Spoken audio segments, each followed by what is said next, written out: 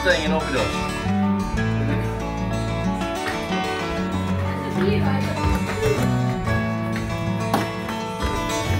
You've got to see this. You've got to see this bed in here.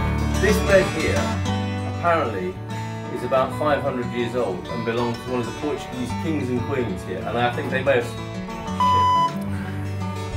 Shit. They may have. Friendly. They may have stayed here 500 years ago. Let's take a look out the window.